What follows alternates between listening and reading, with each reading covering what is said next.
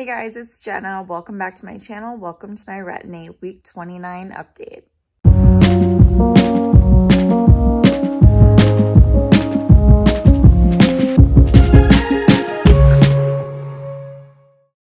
So I'm literally just for a moment hiding in my basement for my kids so that I can quickly film this video.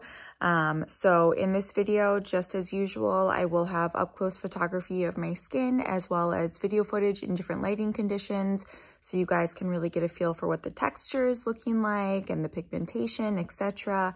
Um, disclosures before I start, I am age 33. I've never had any Botox or filler in my face. I've never had microneedling, PDO threads, um, the only thing I've really had done to my face is two halo lasers in my life. And I had one after each of my pregnancies. My most recent one was probably about nine months ago now at this point. Um, and I did that primarily for pigmentation issues. However, both times I did have what would be considered an aggressive halo laser just because it is expensive. And I figure if you're going to do it, you may as well try and, you know, boost some of that collagen as well. So that is what I have had done. Um, I am, like I said, on week 29 of Retin-A. And at this point, I have definitely stopped having breakouts. However, um, if you have kind of seen my videos on my Retin-A progress since the beginning, you know that a problematic area for me of congestion is around my mouth, particularly on my vermilion border. So if I zoom in, like you can see kind of some marks from where I've had them. Um, and I literally have to like push my lip out for you guys to see these. But for example, there, I just pointed to one. It's like these tiny little just congested pores. Anyway, my point is I had mentioned in my six month update that I think that that area is just going to take a little bit longer to clear. And sure enough, I have, it's getting swollen right there on my lip. Now, I I do not pop acne on my face. However, because those ones on my vermilion border are so stubborn and they're not like open at all, they're totally like under the skin and they're just super tiny. I have in the past tried to pop them and it always backfires. So whenever they come out, it always like swells up like this and then my body basically reabsorbs it half of the time or the other half of the time they can kind of come to the surface. But it just is really interesting. Like, I haven't seen very many people that get that on their vermilion border. And it's not like I've had it my whole life. It really started, I'm to say, like, shortly after I graduated from college and I was really like in my lip liner phase.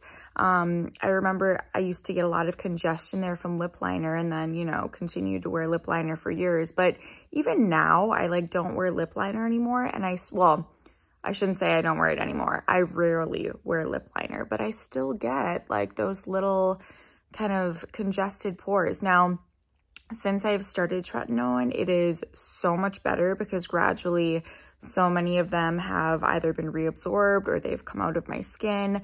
Um, but that is an area that even though I'm not breaking out anywhere else on my face, my lips right around that vermilion border are going to take a little bit longer. So, um, that is kind of my main update. I still am getting like randomly I will wake up and I will have significant peeling around my mouth area, but it's it's very like sporadic. So maybe I'll have it like once every couple weeks and then it will be fine the rest of the time. So what I did start doing because I've also had a little bit of dryness just beneath my eyes and I think it's because of, you know, season change. Um what I did start doing here the last couple nights is I um, bought some rose hip oil by the brand called The Ordinary. Um, it's a pretty well-known brand. And I've been adding like three drops to that, to my moisturizer that I put on my face, neck, and chest, just to see if I can kind of mitigate some of that peeling that's happening.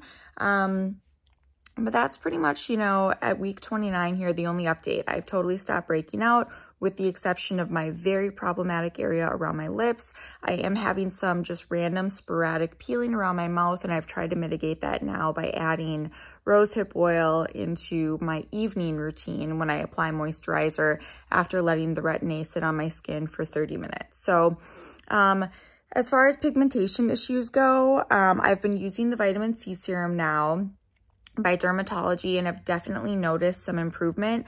I still have, you know, like this age spot and I definitely have melasma on this um, part of my forehead. I think that part of my hyperpigmentation is just gonna resolve itself once summer is over. I do wear sunscreen every day, whether I'm inside or outside, whether it's rain or shine. Um, However, you know, melasma is very stubborn and it's something that can really be triggered by UVA rays, which, you know, when a sunscreen is broad spectrum, it protects you from both UVA and UVB rays. But if it's not broad spectrum, it generally just protects you from UVB rays.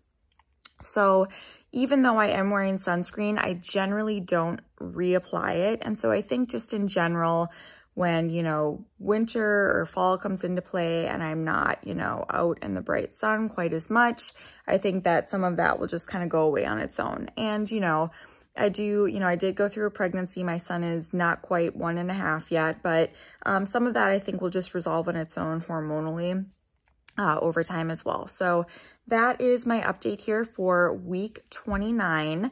Um, and, you know, again, I've been just applying the Retin-A every night, just as I have since week one or since night one, really. Um, and I am currently on the 0.1%. Um, let's go ahead now and get into some uh, video footage of my skin in four different lighting conditions, as well as up close photography of different areas on my face so you guys can really see what everything is looking like. As always, lighting condition number one is downstairs in my basement under can lighting, and this will be the most flattering of all the lighting conditions.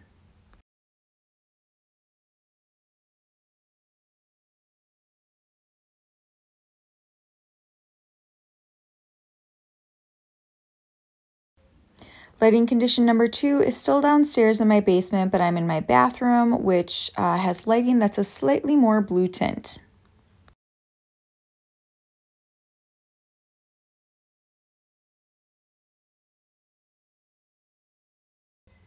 Lighting condition number three is in shaded natural light. This is the lighting condition that will be the least flattering of the four lighting conditions. It's one where you can really see all of the pigmentation and any blemishes will really be amplified. And my last of four lighting conditions is outside in direct sunlight. Um, the sun is a little lower in the sky here today, so it's definitely bringing out some of my puffiness from the morning.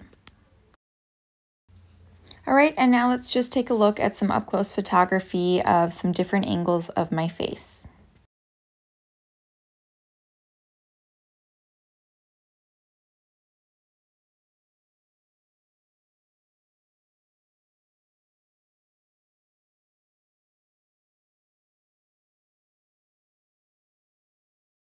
All right, guys, so that's all that I have for you for my Retin-A Week 29 update. I uh, hope this update finds everyone doing really well. Speaking of sunscreens, I did just recently do a review on a Korean sunscreen haul that I did. So I have five days of Korean sunscreen. So be sure to check those videos out here um, on my channel. And yeah, until next time, I will talk to you guys very soon. Thanks, guys. Bye.